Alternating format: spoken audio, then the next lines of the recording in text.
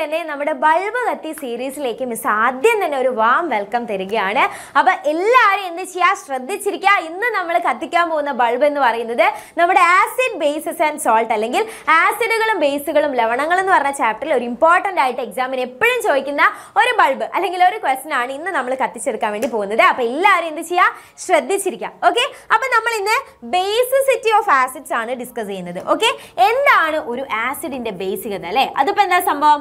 Acid ആണ് ആസിഡും ബേസും വേറെയാണ് എന്നൊക്കെ നമുക്കറിയാം. അപ്പൊ എന്താണ് ഈ ബേസിസിറ്റി ഓഫ് ആസിഡ്സ് അല്ലെങ്കിൽ ഒരു ആസിഡിന്റെ ബേസികത എന്ന് പറയുന്നത്? നമുക്ക് നോക്കാം അല്ലേ? അപ്പൊ നമുക്കറിയാം നമ്മുടെ ആസിഡ്സ് ഒക്കെ വെള്ളത്തിൽ ഡിസോൾവ് ചെയ്യുന്ന സമയത്ത് അല്ലെങ്കിൽ വാട്ടറിൽ ഡിസോൾവ് ചെയ്യുന്ന സമയത്ത് എന്ത് ചെയ്യുന്നുണ്ട്? അടിച്ചു വിരിയുന്നുണ്ട് അല്ലേ? പിന്നെ അവർക്ക് ഒരുമിച്ച് ഒരു ജീവിത സാധ്യമല്ല. ഇവരൊക്കെ എന്ത് ചെയ്യുന്നുണ്ട്?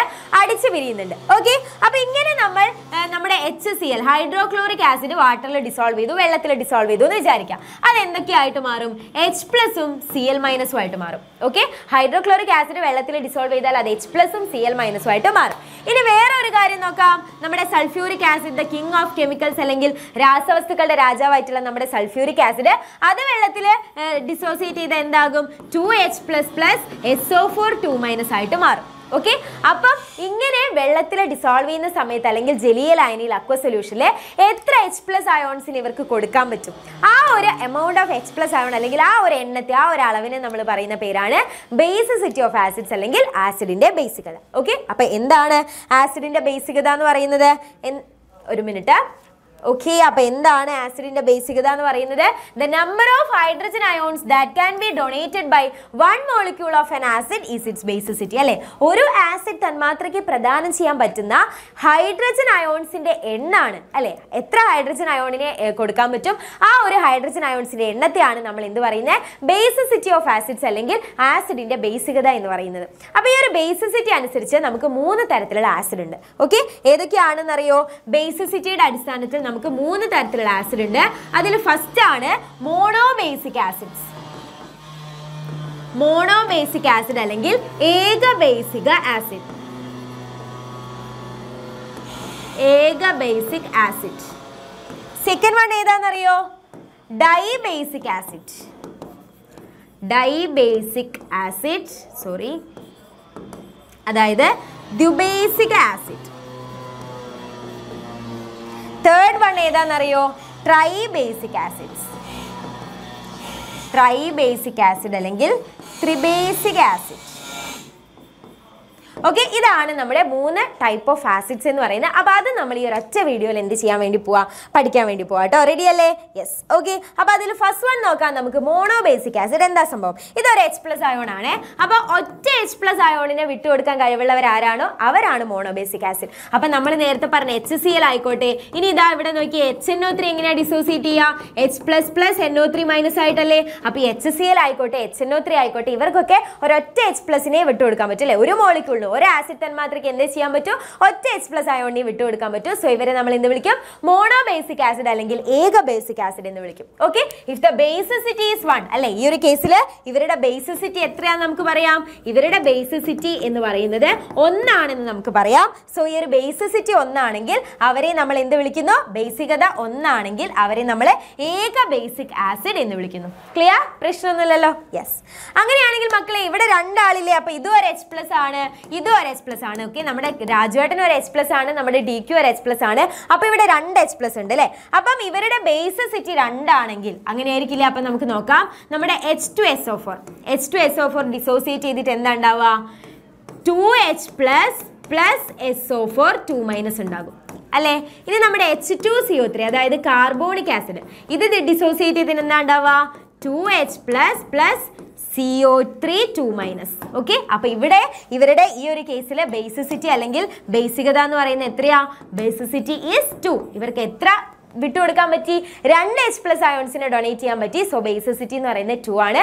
അപ്പൊ ഇത്തരത്തിൽ ബേസിസിറ്റി ടു ആണെങ്കിൽ അവരെ നമ്മൾ എന്ത് വിളിക്കും? If the basicity of an acid is two it is set to be dibasic acid ഒരു ആസിഡിന്റെ ബേസികത രണ്ടാണെങ്കിൽ അതിനെ എന്ത് വിളിക്കും? ദ്യുബേസിക് ആസിഡ് എന്ന് വിളിക്കും. ഇവിടെ ഒരു ബേ ഉണ്ട്. ദ്യുബേസിക ആസിഡ് എന്ന് വിളിക്കും. ഓക്കെ ഇനി ഇതാ ഇതേപോലെ ഇപ്പൊ ആരൊക്കെയായി? രാജേട്ടനും ഡി ക്യൂ കൂടെ ലാലേട്ടനും കൂടെ വന്നു അല്ലേ? അപ്പൊ എത്ര എച്ച് പ്ലസ് അയോൺസ് ആയി? മൂന്ന് എച്ച് പ്ലസ് അയോൺസ് ആയി. ഇതൊരു എച്ച് പ്ലസ് ഇതൊരു എച്ച് പ്ലസ് ഇതൊരു എച്ച് പ്ലസ് അപ്പൊ ഇങ്ങനെ മൂന്ന് എച്ച് പ്ലസ് അയോൺസ് വന്നു എന്ന് വെച്ചാൽ അവരുടെ ബേസിസിറ്റി എത്രയാ? മൂന്നാ. അപ്പോൾ ഒരു എക്സാമ്പിൾ നോക്കുകയാണെങ്കിൽ നമുക്ക് നമ്മുടെ S three P O four phosphoric acid എടുത്തു കഴിഞ്ഞാൽ അത് എന്ത് ചെയ്യുന്നുണ്ട്? മൂന്ന് എച്ച് പ്ലസും പി ഒ ഫോർ ത്രീ മൈനസും ആയിട്ടാണ് നിൽക്കുക. സോ ഈ ഒരു കേസിലെ ബേസിസിറ്റി അല്ലെങ്കിൽ ബേസികത എന്ന് പറയുന്നത് എത്രയാ?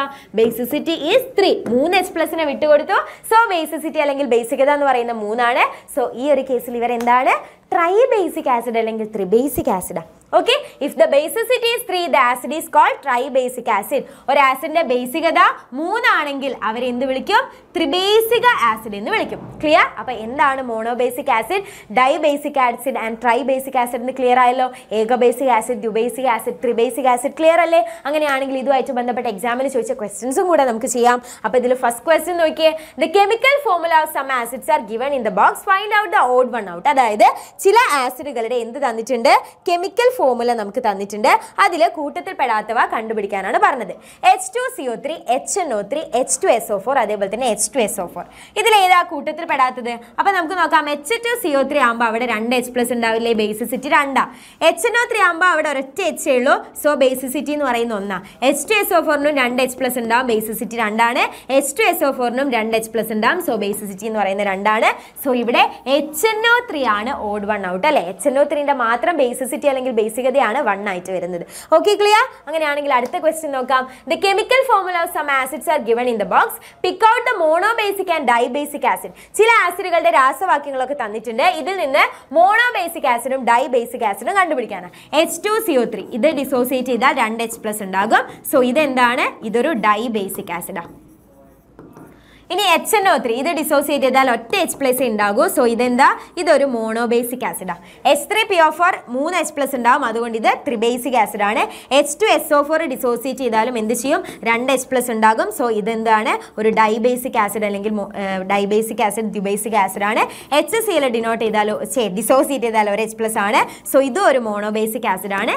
ഇതും രണ്ട് എച്ച് പ്ലസ് ആണ്. സോ ഇതും എന്താണ്? ഒരു ഡൈബേസിക് അല്ലെങ്കിൽ ദ്വിബേസിക് ആസിഡ് ആണ്. ക്ലിയർ അപ്പോൾ ഇത്രയേ ഉള്ളൂ നമ്മുടെ monobasic dibasic and tribasic എന്ന് പറയുന്ന കാര്യം ഏക ബേസിക് ആസിഡ് ദ്വിബേസിക് ആസിഡ് ത്രീ ബേസിക് ആസിഡ് എന്ന് പറയുന്ന കാര്യം ഇത്രയേ ഉള്ളൂ. അപ്പോൾ എന്ത് ചെയ്യുക എല്ലാവരും കറക്റ്റ് ആയിട്ട് ഇത് പഠിക്കുക. ഇനി ഈ ഒരു വീഡിയോ ഇഷ്ടമായിട്ടുണ്ടെങ്കിൽ നിങ്ങൾ എന്ത് ചെയ്യുക ലൈക്ക് ചെയ്യുക അതേപോലെ കമന്റ് ചെയ്യുക ഇനി നിങ്ങൾ ഇതുവരെ ഈ ഒരു ചാനൽ സബ്സ്ക്രൈബ് ചെയ്തിട്ടില്ലെങ്കിൽ സബ്സ്ക്രൈബും കൂടെ ചെയ്യുക താങ്ക്